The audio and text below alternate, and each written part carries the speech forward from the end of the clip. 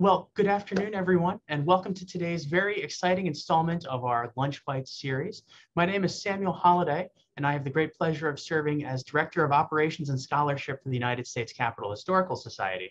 And we're thrilled that so many of you have taken time out of your busy day to join us and learn a bit about this fascinating and important figure in Capitol history and indeed American history. Uh, before we get started with today's program, I'd like to go over a couple of brief technical housekeeping matters. Uh, one of the ways we love to use this Zoom webinar platform to engage with your audience while we can't gather in person is through the question and answer feature. So as we proceed through today's webinar, if you have any questions for our beloved Steve Livengood, our, our resident Olmsted expert, a member of the Olmsted board, you can put those questions into the Q&A section of the webinar platform. That looks like two speech bubbles, either at the top or bottom of your screen, depending on what kind of device you're using to join us today. If you have any technical troubleshooting matters, uh, if you feel like you're having difficulty hearing us or seeing us for some reason, please put those technical matters into the chat section of the webinar that looks like a single speech bubble. I'll be keeping an eye on that and answering those inquiries real time. Once again, any content-based questions for Steve should go into the Q&A section of the webinar platform. It's now also my great pleasure to introduce the President and CEO of the United States Capitol Historical Society, Jane Campbell, uh, to start our program. Jane? Well, thank you, Steve. Um, thank you, Steve, for coming on, but thank you, Sam, for putting this together. Um, we we are really so fortunate, Sam, to have your leadership in designing our, our scholar series, our lunch bites, and making sure that all the technical stuff works because it is so distracting when you go on a Zoom and things don't work, but you have done a wonderful job of trying to make sure that things work. So thank you, Sam. Um, we appreciate it, and I know that our listeners appreciate it as well. But today we are talking uh, with Steve Livengood. And most of you who are on this call uh, know Steve Livengood. He is the public historian for the United States Capitol Historical Society, the chief tour guide. Uh, he has been leading tours for the society for more than 25 years, but for the community at large for nearly 50 years. And there is nobody who knows more about the intricacies of the United States Capitol than Steve Livengood. Today, we are kicking off our celebration of Frederick Law Olmsted. Frederick Law Olmsted was the father of landscape architecture. Uh, he designed the United States Capitol grounds, perhaps is most known for Central Park. But Steve has been serving with Olmsted 200, which is a large uh, and expansive group of folks who are celebrating the 200th anniversary of Frederick Law Olmsted's birth. And so we thought it would be important that as we kick this off, we invite Steve to say something about who is Frederick Law Olmsted and to give you an understanding of how important we think this person is.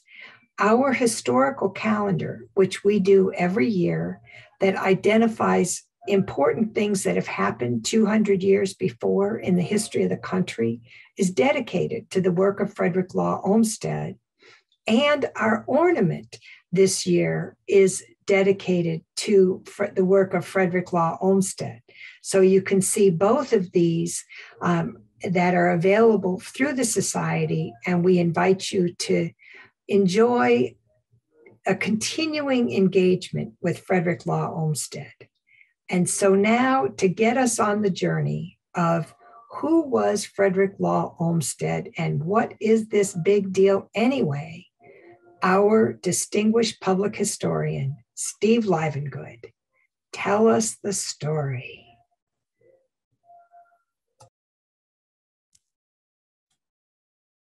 Okay. Trimmer doesn't always work together with a touch screen. Um, thank you for coming this afternoon.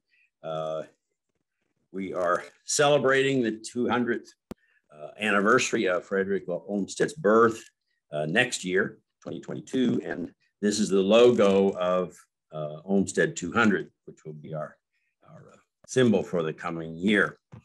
Today's program uh, is sponsored not only by the U.S. Capitol Historical Society, but by the United, the National Association for Olmsted Parks uh, and Olmsted 200. Now, who is Frederick Law Olmsted? Everybody knows Frederick Law Olmsted is the father of landscape architecture. But this only begins to explain about the man because he also did the first economic study of American slavery. He set the standards of military health in world in wartime uh, during the American Civil War.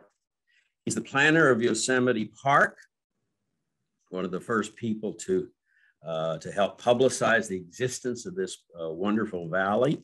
Uh, he's the designer of park-like suburbs uh, throughout the United States and set the standard for suburbs. He was a theorist of urban living and uh, designer of the greatest World's Fair in history. All of these things in this one man and his career. But let's start with landscape architecture. What is it? Well, I, my, the definition I'm going on is that it is creating and organizing the entire scene as a painter does in a painting but with real plants, buildings, and objects. It's designing every element of a scene as an architect does of a building. So here's the biological fact, biographical information, born 1822, died 1903. Uh, on the left are some of the roles that I described for you. Uh, on the right are some of his major parks and, and uh, uh, accomplishments that are still around that one can see. You can see at the bottom left there his firms, of which there are several uh, in succession.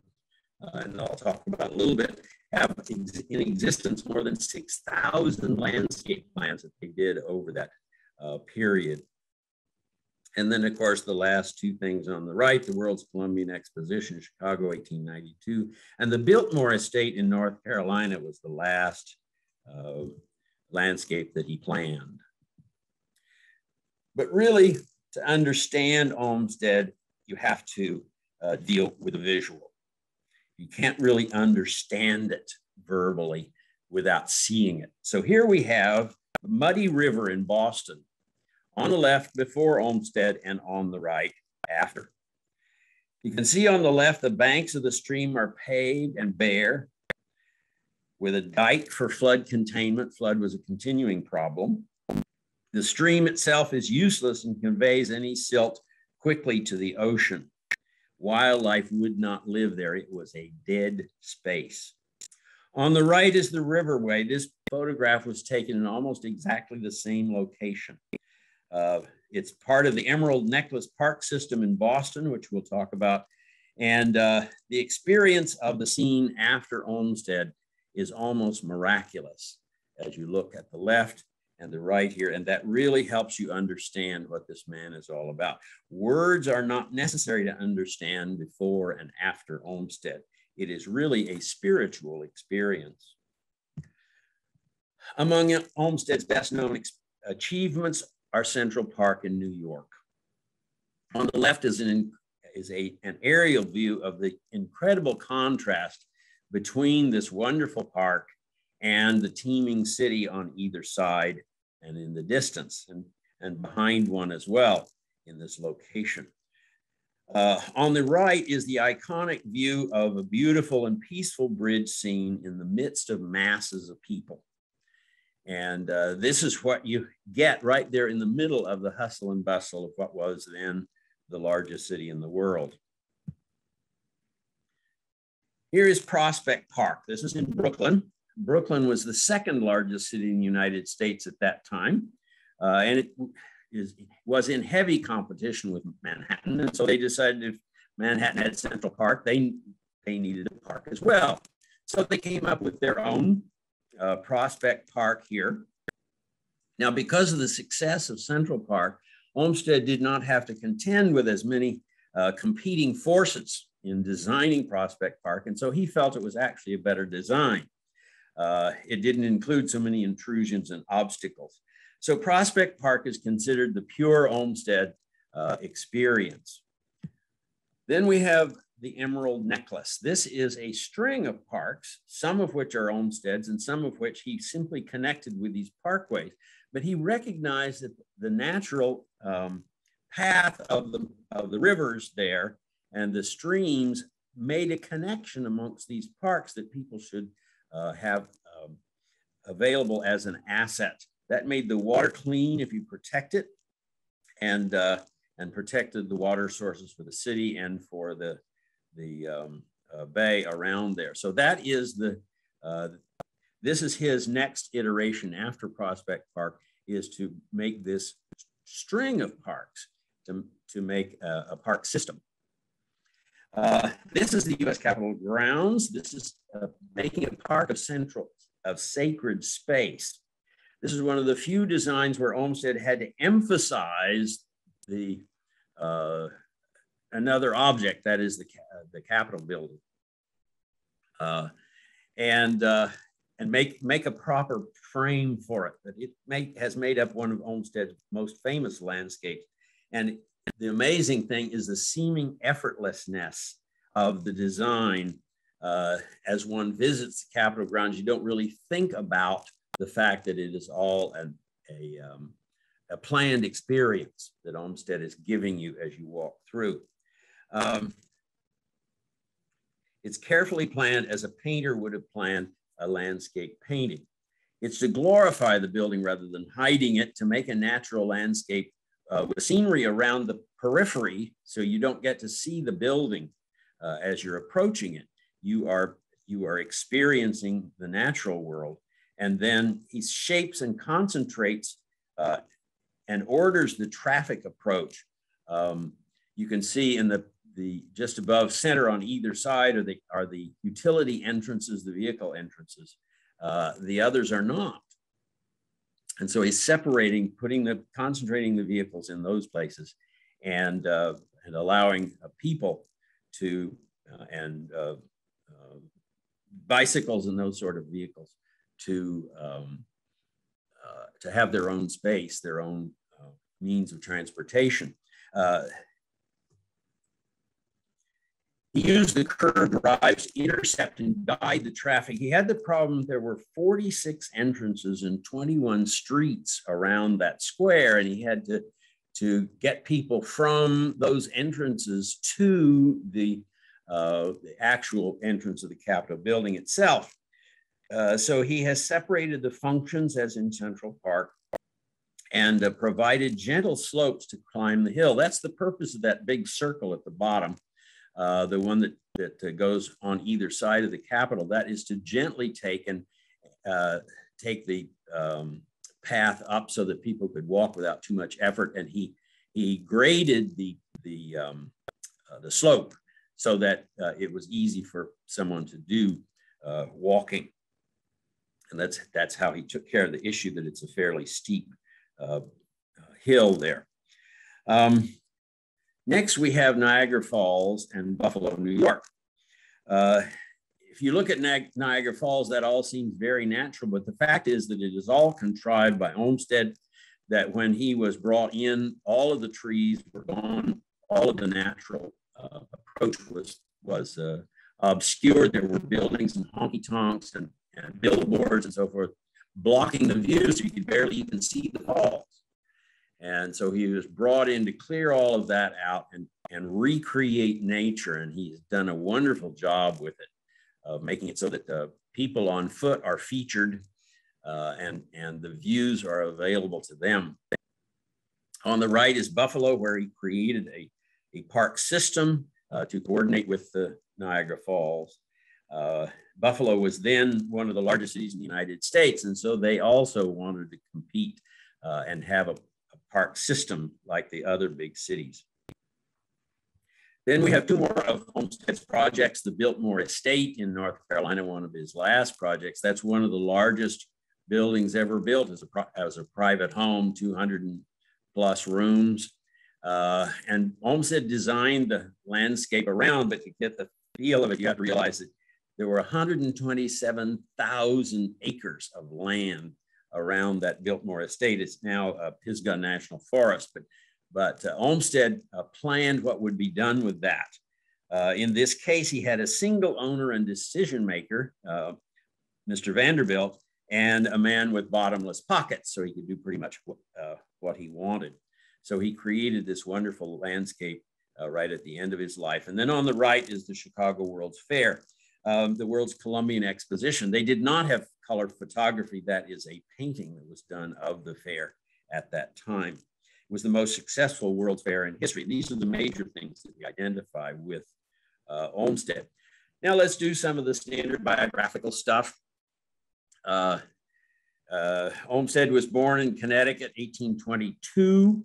Um, 18, uh, and so we celebrate his bicentennial next year. It was a, he was born into a wealthy merchant's family and had private schooling as a child, but an illness kept him from starting college when he was uh, would normally have been ready. And he decided instead to ship out uh, to China in 1843 when he was 21. He went as a crewman on a ship to China. Now, his family was involved in the China trade. They were merchants of, of fine cloth. And so, and some of their um, family fortune was built on the China trade. And so uh, he had some connections and he could go with that. When he came back, uh, he hung out with his brother and the Yale friends, and that's who's in the photograph on the left. Uh, the man in the lower right is Fred looking off at another angle. Right above him is his younger brother, John Hull Olmsted, who was actually a Yale student. And the other three are uh, men that he kept in contact with pretty much the rest of his life. So he made this circle of friends uh, and lifelong friendships with that. But he decided to become a gentleman scientific farmer in 1844. He got some land in Connecticut and then moved to Staten Island, New York, where he had his major farm. And he began to write about farming, but that's what he discovered was his uh, future was as a writer. So he, his brother and his friends were going to England and, and Europe. And so uh, Fred went along and he wrote a a uh, memoir called Walks and Talks of an American Farmer in England. Uh, and that is his first major work. Uh, and on the basis of that, some of his neighbors were putting together a newspaper, new newspaper in New York called the New York Daily Times. It is the predecessor to the current New York Times. And he was among their first writers. And what they did was to hire him to, to travel anonymously through the South uh, and study the slavery economy and write about it.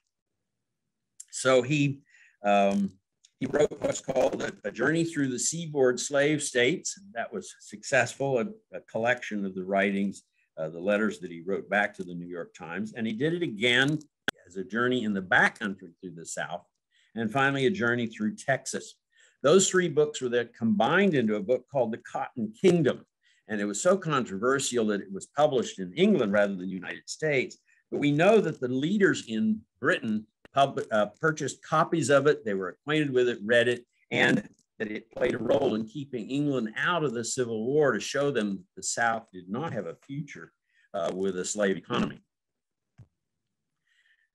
Then he, uh, along came Central Park. Olmsted had did not have any more uh, such assignments, no way to support himself. And one of his friends was involved in, in uh, Central Park, and he suggested that Olmsted might make a nice supervisor of construction for the park. A little background, you need to know that, that um, uh, New York City had identified partly on the basis of what was going on in England at Birkenhead Park and other parks, uh, had decided to have a big park in the center of the city. And uh, it was being promoted and, and was assumed to be planned by uh, Andrew Jackson Downing, who was the leader arbiter, leading arbiter of taste in that era. Uh, and uh, was expected to design the park himself, but he died suddenly in a steamboat disaster. And uh, he had a partner, Calvert Vaux, who felt he needed uh, somebody else to team with him uh, in the competition that uh, ensued after Downing's death um, over who was going to design the the uh, park, and he chose Olmsted as his partner. And this uh, sets the course of the rest of Olmsted's life. The two of them came up with a very unusual plan for the park, park called the Greensward Plan, in which the park would be all natural and isolated from the city and from urbanism and very welcome of everybody. So they begin planning Central Park, and Olmsted is still, still supervising construction of it. But the Civil War broke out, and they had to stop that. And um, uh, some of the same people that were promoting um, Central Park uh, were involved in an organization called the United States Sanitary Commission. Uh, they were very aware of the fact that more soldiers died of disease than of battle, and that the, that the military was not prepared to deal with this. And so they decided to come up with a separate organization, uh, private, that would uh, help ensure this, the health of the soldiers so that uh, the war was not so devastating uh, to, their, uh, to their health. This organization eventually became the American Red Cross. Uh, and so, uh, but they hired Frederick Law Olmsted on the basis of his ability to organize the construction of Central Park. They thought he's going to be able to quickly organize uh, this um, organization they knew was badly needed. And so they hired him to become the um, uh, director of the US Sanitary Commission, which he did uh, through the beginnings of the war. He got the, the um, uh, organization all set up and, and um, began the education of the, of the army in taking care of the soldiers, but he worked himself uh, into exhaustion. And so after the Battle of Gettysburg, when it was obvious that the North was going to win and that the, the uh, function was ca be carried off, uh, he decided to uh, resign and go to California to try to rest. Uh, but he needed money, and, and there was a company out there called Mariposa Mining that, that had been mining gold and promoting gold mining. And so he went out there to be the director of that. And uh, while he was there, he discovered Yosemite Park. Now, Yosemite, Yosemite Valley was pretty well known. Uh, uh, there had been a lot of uh, uh, photographs published of it, and everybody was talking about it, but it was so remote that not very, many people were visiting it. And he's one of the first ones uh, who, who went there and um, and uh, experience the park. And, uh, and uh, as he was doing that, of course, his mind is always working, uh, even though the mine itself was collapsing and, the, and, and uh, his position was not good. He came up with the idea of national parks, of protecting landscapes uh, from development in order to preserve the beauty of the nature. He, he um, doing the same thing that he's doing in Central Park, but this to preserve a landscape rather than to create one. So his mind is still working. He comes up with the idea of national parks. Uh, what happened was that the that Yosemite was actually set aside by the federal government and given to the state of California uh, before John Muir came along and, and the campaign to make it a national park was uh, developed. But uh, Olmsted was already planning what, it, what should be done uh, as he was in California. But um, Calvert Vaux, his former partner, had uh, noted that they, they were continuing to, uh, there was a continuing need at Central Park and he'd come back for that. And that they want, that Brooklyn wanted to build Prospect Park. So, so Olmsted comes back from California uh, to uh, help develop Prospect Park and, and continue on um, uh, Central Park. But he also gets asked to look at the US Capitol grounds around this time, and that is the origin of that project that I already talked about. He also was asked, asked to look at Mount Royal in Montreal, uh, at Boston's Emerald Necklace, and then he moves to Boston and establishes Fairsted, which is his uh, now his National Historic Site. But that's where his home, home and office was for the rest of his life, is in Brookline, Massachusetts. Uh, they hire him to do Buffalo, uh, Niagara Falls and the Buffalo Parks, and to do this camp, campus plan for Stanford University. Now, by this time, Olmsted is so well established in his profession, and the future is obvious to him, and he he makes an interesting decision. That is, he had an eight-year-old son, the youngest of his children, uh, who had been named for his father-in-law, Henry Perkins uh, Olmsted.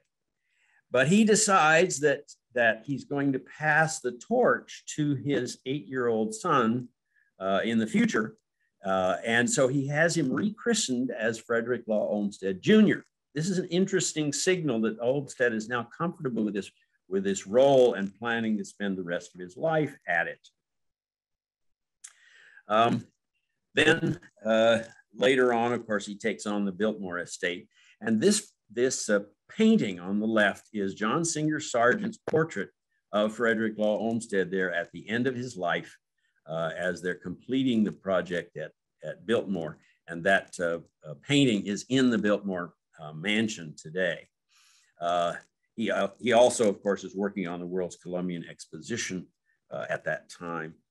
Interestingly enough, he, uh, as his uh, mental condition declined, he was placed in the McLean Asylum in Boston, where he designed the landscape himself earlier. However, they had not followed his plans, and this was a source of distress to him for the rest of his life to be in the midst of this landscape, which was he knew the potential of, but they had not fulfilled it as he had wanted. So that's the story of Olmsted's life, but let's look now at the Chicago World's Fair. These are the people behind it. Uh, it's 1892. It's celebrating the, uh, uh, the voyage of Columbus, the 400th anniversary of the Columbus's first voyage. Daniel Burnham is the father, the leader of the, of the organization of the fair. He is a Chicago architect, probably the most prominent architect in the country, uh, credited with a lot of the development of skyscrapers in Chicago. Um, Charles McKim, the New York architect, architect is included to, uh, in the leadership, and he helps organize architects all over the country to, to contribute to this um, wonderful uh, celebration that they're having in Chicago. Frederick Law Olmsted is on the team as the landscape architect, and he actually planned the fair and much of the experience of it uh, for the ordinary people who, who came to visit the fair. Finally, Augustus St. Gaudens, the sculptor, is the other member of the team. He's in charge of the artistic aspects and getting sculptors uh, and other artists to, to uh, contribute to the fair. Um, just to give you an idea what's going on at this time, in May of 1893, uh, Olmsted is notified that both Harvard and Yale are going to con confer honorary degrees on him. Now, of course, this is the um, uh, this is the man who did not go to college, uh, but they have decided that he has earned his uh, advanced degrees. And so both of them uh, confer honorary degrees on him, but in typical Olmsted fashion, he accepts them in absentia because he's too busy with the Chicago Fair and the uh, completion of the Biltmore estate. So he's not even there to receive the degrees. But he provided for the continuation and extension of his work and this is what I touched on earlier. He succeeded in virtually cloning and improving upon himself. In an extraordinary way, he provided for his historic role to continue for a generation after his death by raising and educating his son to be his worthy successor, yet without the health defying monomania and obsession that you find in Olmsted's personality. So let's look now at the Senate Park Commission. This is the McMillan Commission, uh, formerly known as the Senate Park Commission. And look who is here. Daniel Burnham, the Chicago architect, is the leader, just as he was at the fair. Charles McKim is the one that organized other architects and did a lot of designing of the, of the National Mall. But in Olmsted's place is Frederick Law Olmsted Jr., age 31, but already the leading landscape architect in America and of course, Augustus St. Gaudens is involved as, as well. So to understand Rick Olmsted, you have to know about the letters that Fred, his father, wrote him as he started school at Harvard uh, many years before. He, Olmsted wrote to Rick a series of letters inquiring about his studies and his social life. In one letter, he instructed Rick to draw up a memorandum, quote, stating on honor, end quote, the times at which he went to bed each night. Now, we don't know that Rick actually did that, but imagine going off to school and your father sending you a letter to do that. His father said in another letter, I have been making a public reputation and celebrity of a certain kind, which at last has a large money value. We have, as a consequence, more business than we can manage. The business increases faster than we can enlarge our organization and adjust our methods to meeting it. And it is plain that this depends as yet in almost entirely on me. I want you to be prepared to be the leader of the van. Our projects take 40 years to complete, and I will be leaving it to you to do so. He tells Rick, You will be around to get the credit for what I have started. You have these years at Harvard to prepare yourself. My reputation and your future depend on being adequately prepared. Imagine taking that kind of a burden off on yourself as you went off to Harvard. But Rick earned it. He became, he went to Harvard and got his degree, magna cum laude.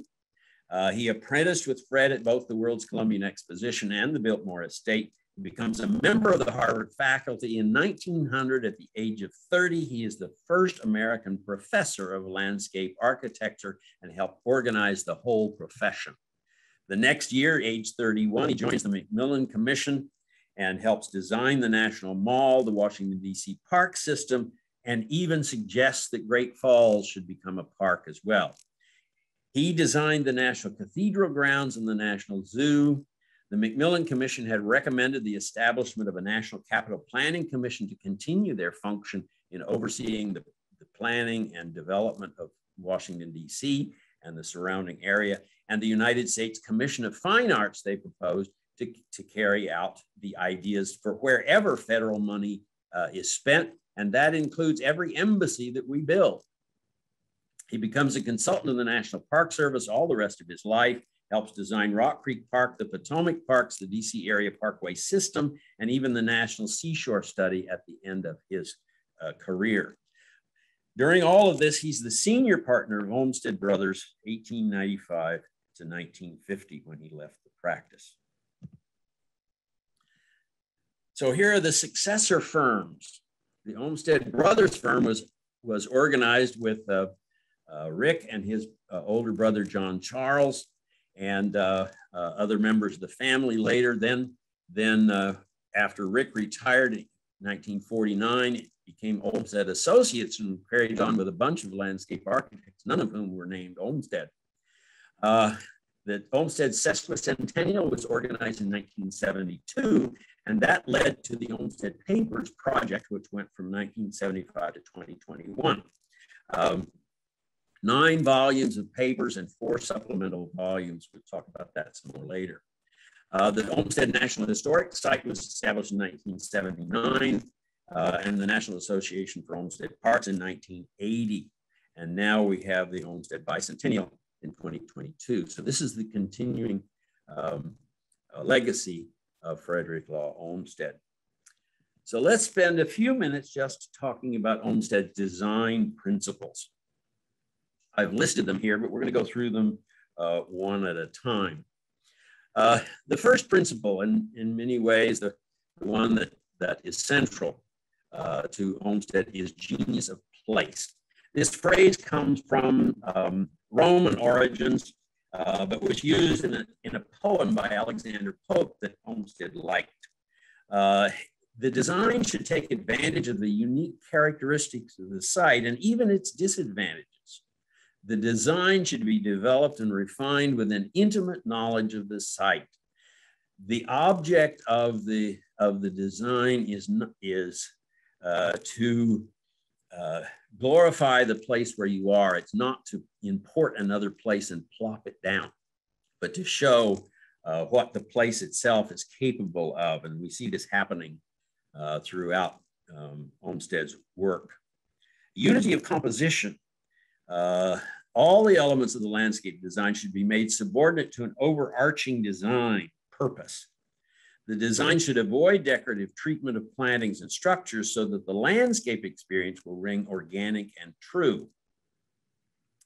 Uh, we can see that on the Capitol grounds. Later on, they have added uh, cherry trees and dogwood trees that blossom and, and crepe myrtles. Uh, Olmsted wouldn't have approved of that because the um, because the blossoming detracts from the building, and you're there to see the Capitol building, not cherry blossom. Uh, but this is, this is uh, one of his principles is this unity of composition. Orchestration of movement. The composition should subtly direct movement through the landscape. Uh, you shouldn't be puzzled at which, which way to turn when you come to a corner. There should be a separation of ways, as in parks and parkways, for efficiency and amenity of movement and to avoid collision or the apprehension of collision between different types of traffic. Uh, he's done that on the Capitol grounds by confining vehicles to those two entrances on each side, and all the other entrances are given to, um, to people walking and on bicycles and so forth. Then the orchestration of use. The composition should artfully insert a variety of uses into logical precincts, that is, keep them separate, uh, ensuring the best possible site for each use and preventing competition between uses. He wanted people to use his parks, not just look at them. Sustainable design. The design should allow for long-term maintenance and ensure the realization and perpetuation of design intent. Plant materials should thrive, be non-invasive, and require little maintenance. The design should conserve the natural features of the site to the greatest extent possible and provide for the continued ecological health of the area. And finally, the comprehensive approach, that is, you're supposed to take everything into consideration that you can possibly think of. The composition should be comprehensive and seek to have a healthful influence beyond its boundaries. Of course, New York City was a much healthier place because Central Park was in the middle there. And, uh, and the approach to it and ability to use it uh, was important in its design. In the same way, the design must acknowledge and take into consideration what surrounds it. It should create complementary effects. When possible, public ground should be connected by greenways and boulevards so as to extend and maximize the park spaces. Um, he was always aware of where the water was coming from and where it was going to go after it was in the park. And, that, and so that's one of the things that he's talking about uh, outside its boundaries. Now, this is Fairsted. This is the National um, Frederick Law Olmsted National Historic Site in Massachusetts. This was his office in his home uh, from 1883 to 1980. Uh, within this small space, they show off the possibilities of landscape architecture. There was a very natural looking gate that one came in, uh, an entrance circle, sweeping lawns, wooded walks, uh, a sunken garden, bushes, flowers, and huge elms, a, a huge elm in particular. And uh, these were all elements that could show off the possibilities uh, of landscape. Uh, I visited Fairsted several years ago, and the photo on the left is the um, is from the back corner and shows the outbuildings that were used as offices and auxiliaries while uh, the, the landscape firm was um, uh, headquartered there. On the right is the front entrance to the house with the office wing off to the right behind the trees. Uh, this um, historic site is an amazing resource. Uh, I went there a few years ago and they had a display and a program about the history of technology. Olmsted's uh, people were in the vanguard of of using such things as typewriters and um, photographs and um, blueprints, and they saved all of the of their um, uh, historic items, and so you can get a whole history of technology there. Um, the, the site is an educational tool. The grounds have been restored to the maximum sustainable effect. Uh, they have ranger programs to, to uh, help explain it and and enrich your, your experience. It's well worth a visit. I was amazed at how much I learned in such a short time just spending an afternoon there. It is a model to me of what a National Historic Site should be and a great shrine to Olmsted and the accomplishments of the firm. Now, who is Frederick Law Olmsted? That was the question we started out with. The best single quotation about Olmsted uh, comes from Daniel Burnham, who I introduced as the, the um, leader, director of the World's Fair, the leading architect of the era. And at a celebration of the success of the fair, uh, he said this about Frederick Law Olmsted. He credited Olmsted with having created the fair facilities and paid tribute because it was clear that Olmsted would retire after this project. Olmsted himself was not present. He was too busy working on uh, uh, down at uh, Biltmore. But Daniel Burnham said of Frederick Law Olmsted, he is an artist. He paints with lakes and wooded slopes, with lawns and banks and forest covered hills, with mountain sides and ocean views. And this is where he summed up the importance of Frederick Law Olmsted. Um, but Justin Martin, the uh, biographer, has expressed a, a, the wider scope, in many ways, a unique wider scope of Olmsted's accomplishment. No mere title could capture the breadth of his skills. He could move fluidly between art and administration, between high flown worldviews of ideas and the practical world of men. Then uh, there's another quotation from George Templeton Strong, uh, George Templeton Strong was on the uh, US Sanitary Commission and he observed Olmsted's work and observed him at work, and that's what he talked about. Uh, Strong himself is a famous diarist. His diary was not discovered until the 1930s after he was dead, but it was 2,250 pages. And Ken Burns made it famous as he used it in the uh, Civil War series because uh, uh Strong was writing about everything around him and events at the time.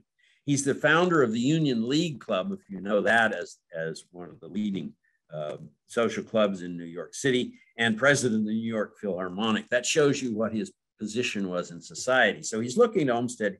He says Olmsted is an extraordinary fellow, decidedly the most remarkable specimen of human nature with whom I have ever been brought into close relation talent and energy most rare, absolute purity and disinterestedness. He does have prominent defects, in particular, a monomania for systems and organization. I'm not sure I would call that a defect, but nevertheless, it was Olmsted's obsession. And an appetite for power. Olmsted works like a dog all day and sits up nearly all night doesn't go home to his family for five days together, works with steady, feverish intensity until four in the morning, sleeps on a sofa in his clothes, and breakfasts on strong coffee and pickles. So that is a different view of Frederick Law Olmsted. But what is the big deal? I would suggest that he changed the way we think of cities. He himself said that big, big American cities are thought as settled towns, yet the population is new to its locality and so little socially rooted. He's talking about the immigrant city that he experienced in New York and in Boston. And he recognized the fact that these people were new, but this, and the city was not serving their needs. He said it is possible for a man to live isolatedly from humanizing influences in those cities and with constant practice of heart hardening and taste smothering habits. This was the problem that he saw. Charles Beveridge, the editor of the Olmsted Papers, says Olmsted pursued through landscape architecture the general improvement and civilizing of American society that he had always had in view. This was his chosen method to do what he was going to do anyway with his life. So again, this concept can be shown best visually. I'm going to show you a sequence of three photographs of the National Mall and show you what Olmsted's ideas did to our city. This is uh, taken around 1880 after Olmsted had completed the landscape of the Capitol.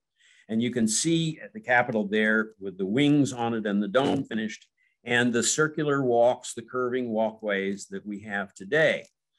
But they end at the Capitol grounds there. And in front of us, we see the garden walks by the Smithsonian Castle right in front here, uh, which wander around without any particular purpose. Uh, you see behind those the trains parked in the center left That's where the railroad station was, and, and the train tracks extended out and across the mall. You can see a couple of blocks of commercial and industrial buildings on either side uh, past the train there. Uh, those blocks were not on L'Enfant's plan, but were added later. Uh, and here was uh, some fairly heavy industry right at the bottom of the Capitol. And the Botanic Garden is that white blob right in the middle below the, the Capitol there. Uh, that's Botanic Garden sitting in the center of the mall, uh, but facing away, facing north, and not or oriented toward the Capitol at all. Next, we see about the 1930s. Uh, here, the mall buildings have been begun on the north and the south side.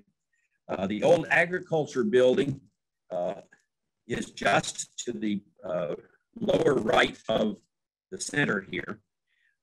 Uh, and to the right of it are some other uh, old buildings, and then the two wings of the new agriculture building that is being built back to make the mall wider. And eventually that old agriculture building uh, had been slated for demolition with the completion of the new building, and they carried that out. But you can see the gardens of the agriculture department there, again, paying no attention to the fact that the Capitol uh, is in the background and the entire mall itself is blocked by trees. Here's the third one of the mall today. Off on the right, you can see the two pillars of the Eisenhower Memorial, which means that, uh, that this is a fairly recent photograph in the last few years. But this is the mall as envisioned by Frederick Law Olmsted, based on L'Enfant's plan. And, uh, and um, the way the mall was planned by the McMillan, McMillan Commission in its details under the oversight and consultation of Rick Olmsted carrying out what his father had envisioned. And you see a city transformed by urban planning. This is one of the great urban plans in human history of a city transformed. Uh, and cities now are now expected to be planned and organized. But this shows how recently it was. Let's look back again and, and look in quick sequence at this. Uh, very little planning here and um, a little development here in the right direction, and then the magnificent city that we have today. Next, Frederick Law Olmsted changed the way we think of parks. He visited, observed, and studied the earlier English parks, particularly at Birkenhead near Liverpool. And then he created what is arguably the greatest, most influential public park in the world, New York Central Park. He designed it consciously so it would welcome everyone and everyone had access to it. Before Olmsted, parks were the property or gifts from rich people, uh, appreciated from afar, entered only by invitation, designed to show off the wealth and power of a few. Ordinary people, particularly the urban poor, could experience nature, fresh air, quiet landscapes only in cemeteries where they uh, went for picnicking and socializing and appreciating how different heaven would be from urban life of that era. So here's the great Central Park. Uh, in the midst of the urban development, no one who's experienced Central Park can ever think of parks as they were before Olmsted. Now parks are expected to be planned where they're needed not just a luxury, but a necessity for health and happiness.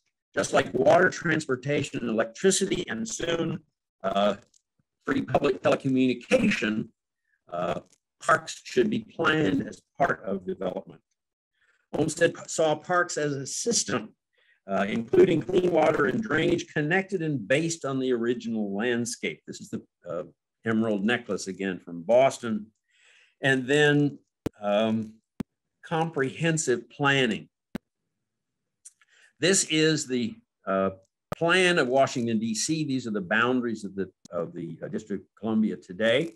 And on the left is the plan from 1791 from L'Enfant. And you can see he's got parks there, public spaces, uh, but later on, many of them were used for other purposes. Um, you can see Fort McNair at the tip in the lower right there, and um, uh, that is closed to public access now. And you can see there's no connection amongst them. On the right is Rick Olmsted's plan of the parks for Washington, D.C. in 1901. This is only those inside the District of Columbia, but he's connected them all and it's got big parks. He's taken, he has uh, dedicated the shorelines always to um, uh, protection for the public. Uh, later on, he added parkways in several different directions, the one to Mount Vernon, the one out to Great Falls, uh, the um, uh, Suitland Parkway and the Parkway to Baltimore are all uh, Rick Olmsted's additions to the plans going outside Washington, D.C. Then he changed the way we think of suburbs. Uh, Charles Beveridge, the editor, said suburban villages allowed the uh, advantages of the more openly built city form, and careful planning was necessary if men and women were to gain the benefits of suburb that suburban life should could offer. Uh, on the left is Riverside. This is the first suburb that Olmsted planned. It was outside Chicago. Uh, I called up the um, Google map of it to show you uh, on the right that uh, some of it at least was developed and used the curving roads. And at the bottom right, that last road is called Olmsted Road, giving him credit for that. Uh, on the left is the plan of the city of Tacoma while uh, Washington state was still a territory. Uh, you can see the grid pattern arriving in the upper, uh, on the right center, the grid streets inter interfacing with the um, curvilinear streets that were going to follow the topography of the area.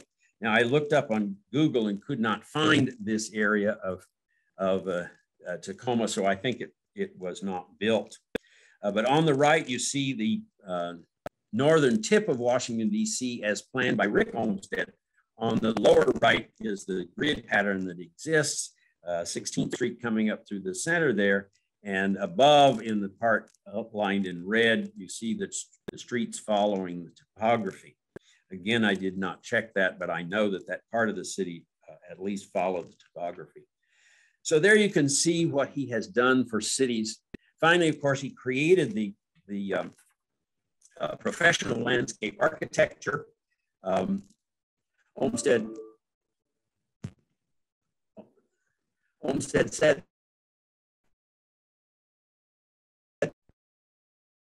while, while Sam and Steve are working on the video, um, I, I want to recognize that many of you have questions, um, and we we hope to get to those questions. But Steve just has so much information about Frederick Law Olmsted that um, we're going to let him finish, and and then we'll do the questions, and uh, we may extend a few a few minutes over our time to try to get some of the questions. There, he's back. Okay, the climax I want to point out is that South Korea is having a conference in 2022, October, uh, that studies Olmsted's importance in, in, park planning, including in Korea. There's a conference that, that year in China that will include programs about Olmsted's legacy as well. This shows you the scope of the man. Now, I'm going to just uh, share the screen again for a moment here and, and um,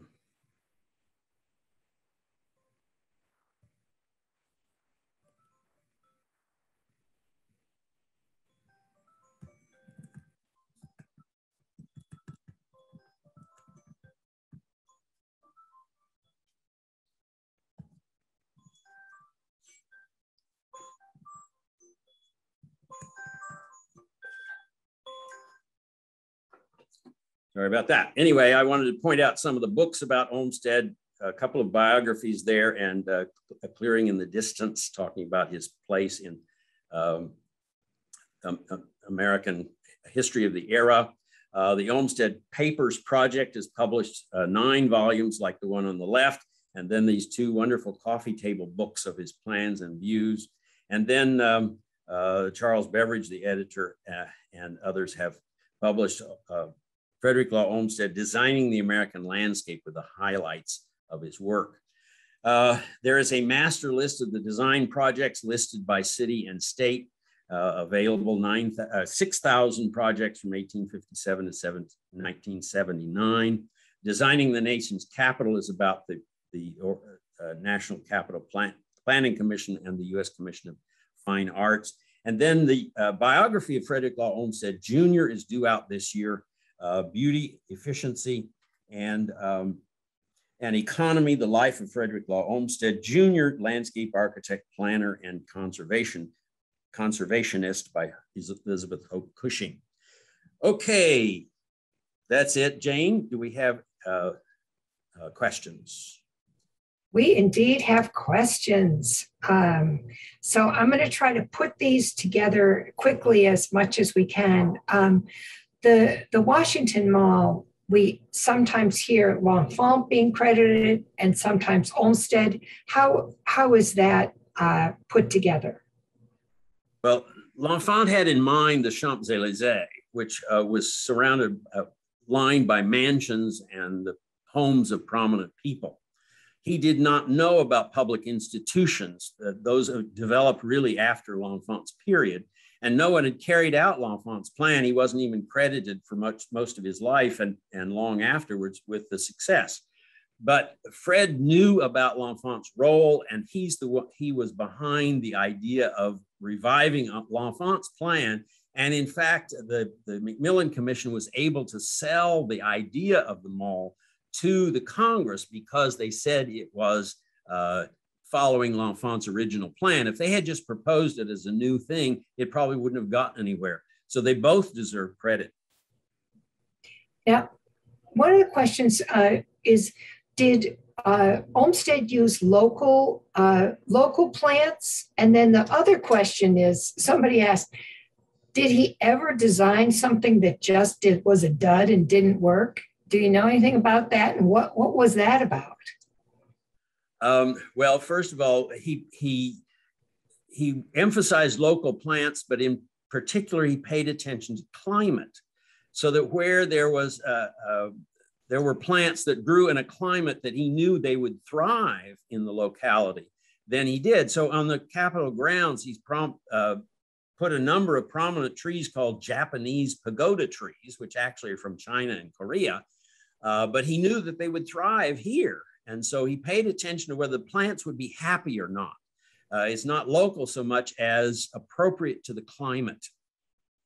And then did he design landscapes that were duds? Oh, yes. Um, and one can go through the through the um, uh, master list and and see a lot that were never carried out. And, and those, of course, we don't know whether they would have been successful or not. Uh, uh, but uh, some people felt they were duds and got rid of them. Uh, and uh, and in fact, uh, I just got the first photographs of the of the park in in Chicago, which has now been bulldozed for the Obama Center, which was an Olmsted Park and is was considered a dud. and even though it was the site of the Chicago World's Fair, but it, that park is now has now been bulldozed for the Obama Center. Question um, did did Frederick did Olmsted Jr. and uh, Frank Lloyd Wright have any interaction with one another that you know about? Did they influence each other? Uh, Frank Lloyd Wright actually uh, uh worked with Olmsted, um, probably with the Olmsted brothers, uh, for at least a short period of time. So they were probably acquainted. But uh, Olmsted is mostly with the with the previous, of course, H. H. Richardson uh, and, uh, and Richard Morris Hunt, who designed Biltmore. Uh, but there's not any particular collaboration that I know of between Frank Lloyd Wright and, and uh, uh, Rick Olmsted. I'm a real Wright uh, admirer, and I, I don't know that Wright ever sort of collaborated with anyone when he was at his peak. Was there additional legacy beyond Rick were there other children? You know did there did he have children went into landscape architect or did the sort of firm sort of end with well the, fir- the firm land ended after rick left.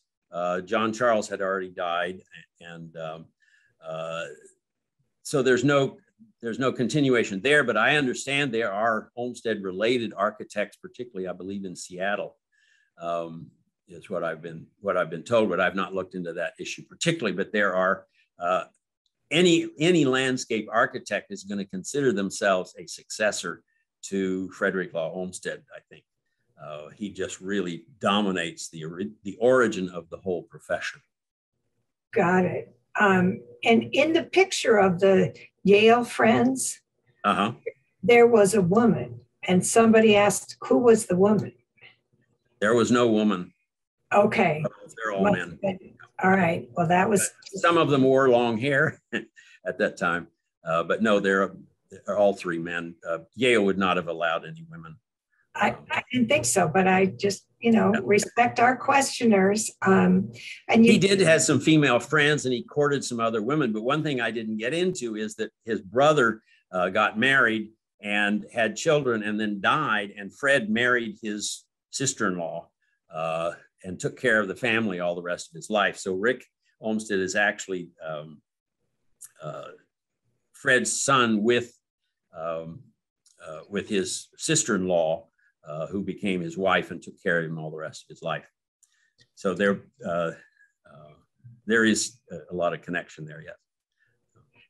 And the the slopes of the Capitol grounds would would they meet today's uh, standards for the handicap, um, the ADA standards?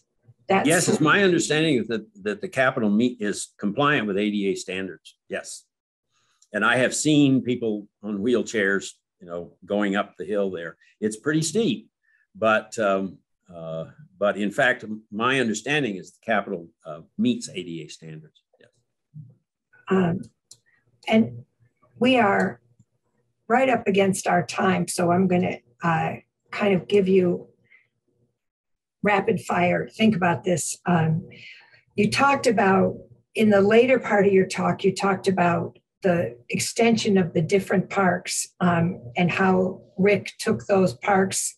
Um, and in the early part, where you talked about what were the key things um, that were really Rick's accomplishments, McMillan Park was not on that list. Is that because that was just uh, a component of the additional parks, or is that uh, something that had different configuration? It's my understanding that Rick Olmsted designed McMillan Park. Uh, there are a lot of parks in Washington. I know there's a lot of uh, pressure about McMillan Park at the moment, so I'm glad to have it mentioned uh, because it it needs to be preserved. But um, uh, the whole park system in Washington is Rick's, uh, in particular, and McMillan Park was part of that. Got it.